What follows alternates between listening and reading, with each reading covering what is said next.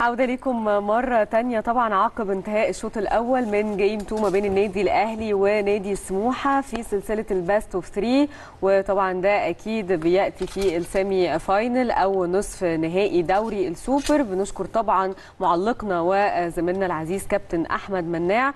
ويمكن شفنا زي ما إحنا تابعنا. الشوط الأول انتهى بنتيجة 49 31 يمكن ال quarter الأول كان 28 21 وال quarter الثاني 49 31 كابتن سعاوي الاستراتيجي بتاعت كابتن طارق اختلفت عن game 1 ولا لأ؟ شفنا البداية يمكن شفنا rotation ما كانش فيه ثبات على التشكيل يمكن شارك أكتر من 10 لاعبات في في المباراة. شايف إزاي استراتيجي اللي بدأ بيها المباراة النهارده؟ اعتقد إن تغييرات متوقعة من من طارق خيري.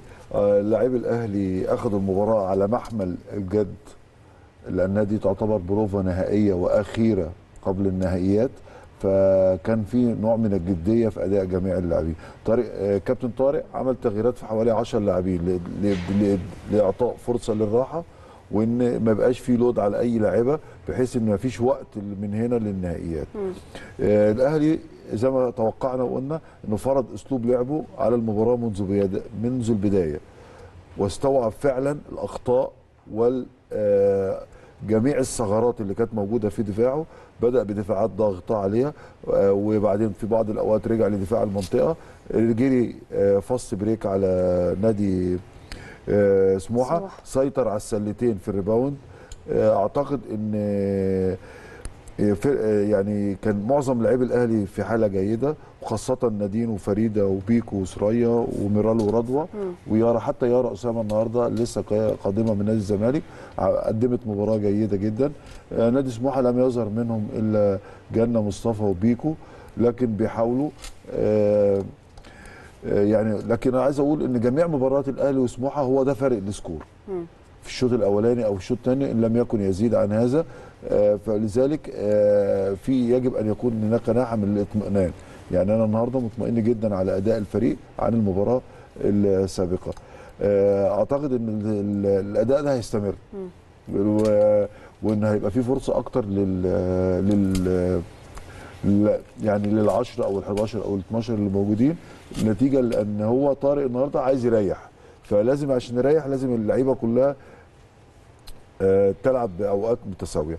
آه دفع بجيدة لعيبة كويسة آه لسه طالعة من الدرجة الأولى.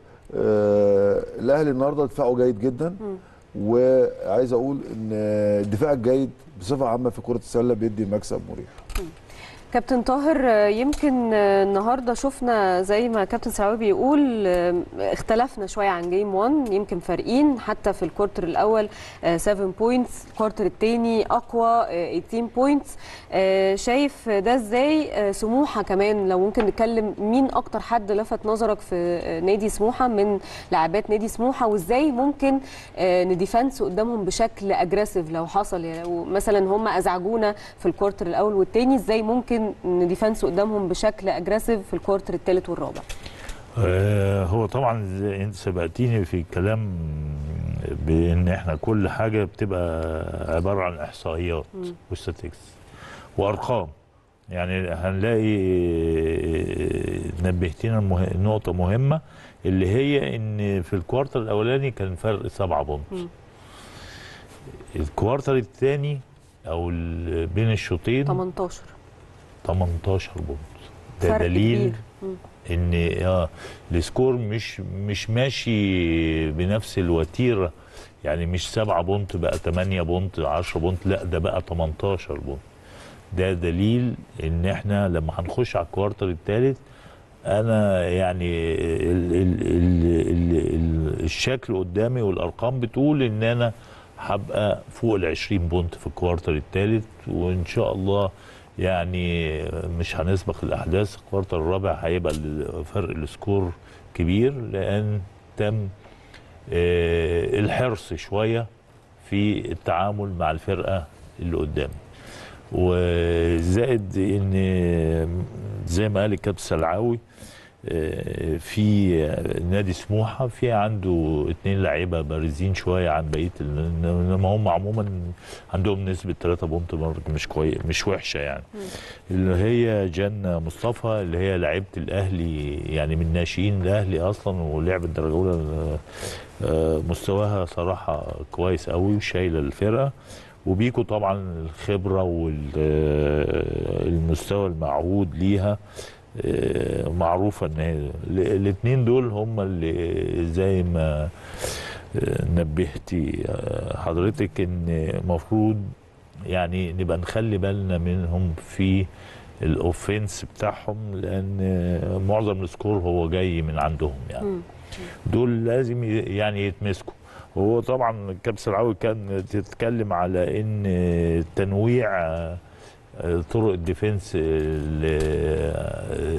اللي, عملها كابتن طارق ده من الحاجات المميزة للفرق القوية إن أنا ما بلعبش ب defense واحد عشان ال defense الواحد ده ممكن هجمة اتنين تلاتة يتضرب يبتدي بقى يتعامل معاه إنما لما ألعب press وبعدين أرجع zone طبعا هو ده بي- بي- بيعمل حاجة زي مفاجأة لل- للفرقة. ودي ظاهرة صحية.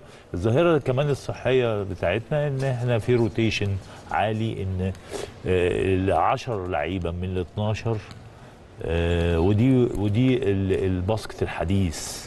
إن يتم ال rotation إن اللعيب يلعب 3 4 دقائق بس يلعبهم full power واريحه وارجعه تاني. فطبعا ال rotation ده كويس. يعني 10 لعيبة من ال 12 في ال quarter الأولاني والثاني ده حاجة كويسة.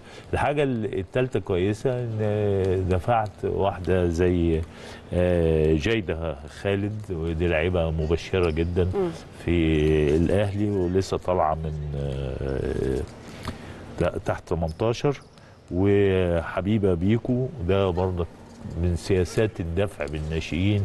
السياسة الجديدة التي تميز النادي الأهلي صح مظبوط. شفناها كمان برضو في في رجال. السلة. صح مظبوط. ودي يعني أوجستي بيعملها فعلا. وكابتن طارق صراحة النهارده في semi final زي ده وأدفع باثنين بنات آه، من اللي لسه طالعين. ده حاجة كويسة جدا.